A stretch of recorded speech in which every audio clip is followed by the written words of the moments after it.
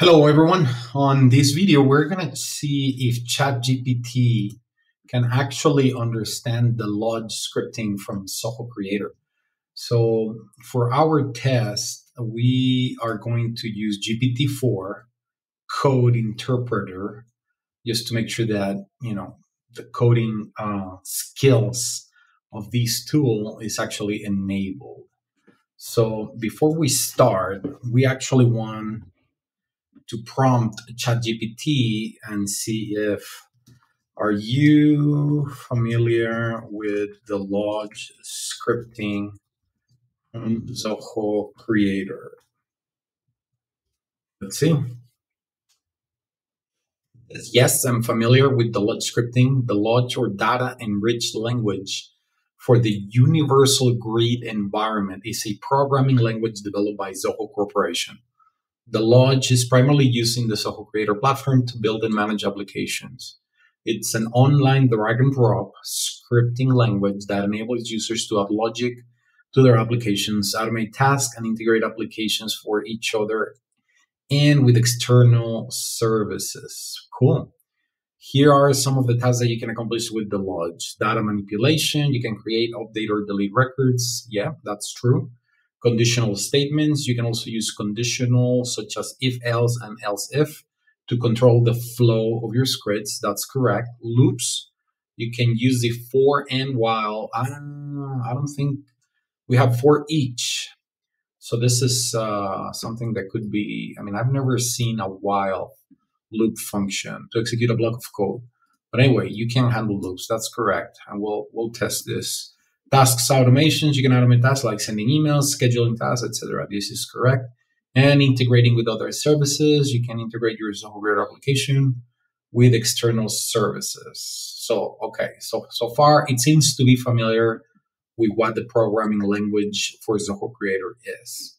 So now I'm gonna give them give ChatGPT. Can you please interpret what the following script does.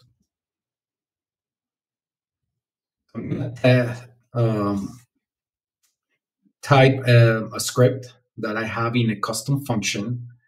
Uh, it's supposed to be updating the state, the city, the postal code, and inside a record.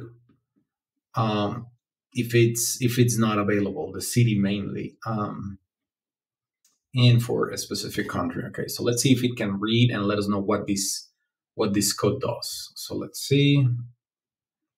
So the script appears to be performing data manipulation in a collection of records called alumnas. That's correct. Here's a step-by-step interpretation. So so far, this is a great way so let's say that you're accessing an application that you didn't build, but but now you're in charge of making sure that everything works properly. So if there is a function or a process that you do not understand, you can just come to Ask ChatGPT and ask it, you know, what does it do? And it looks, it, it filters for each record in Alumnas. Yeah. The status has to be this, and the city has to be empty or not empty. I'm sorry, not empty. Uh, yeah, this this means not. So it's it's not empty.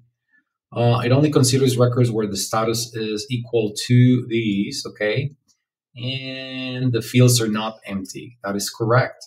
Getting related data. The script then gets related data from the states and the cities collections based on the city that is currently on the alumnus database. Yeah, that's correct.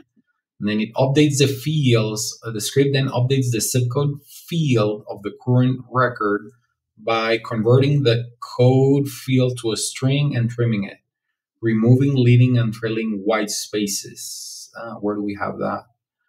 Let's see, with the zip code, oh yeah, we're trimming it here.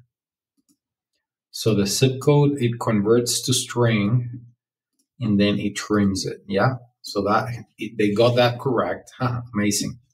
Uh, conditional updating. If there is at least one matching record in states uh, sets the district, city, and state fields of the direct address field to the city and state. Okay. Setting the country. Finally, the script sets the country field to Mexico. So this is by default. So it actually, in summary, the script is updating the address information of certain records in the alumnus collection based on the data in the states and the city. So it, it knows what it is. So now this is a $1 million question. Can you optimize this script for a faster response and efficiency? Okay, let's see if it can actually write code. The Deluge script you provided is pretty optimized given the constraints of the Deluge. But there are a few potential improvements you could consider. Redundant lookups. The script. Okay. To get the record and then count the number of matching records depending on how implements. Okay, so yeah, it, it is suggesting that instead of going through all the records in the alumnus, we go through the records of the states and the cities first. Uh, okay. Can you provide a deluge scripting solution for this approach?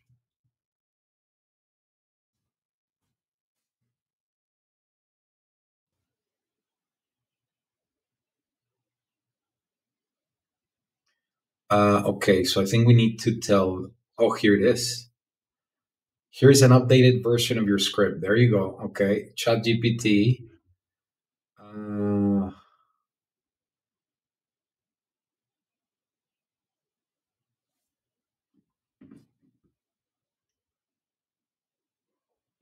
This script assumes that Código Postal is always a well formatted string and that there is no records. So, ladies and gentlemen, ChatGPT 4 code interpreter can actually write code for you. So this this is amazing. Let me copy this code. I'm gonna go and test it inside uh, the application. How about that? This is ChatGPT code interpreter solution.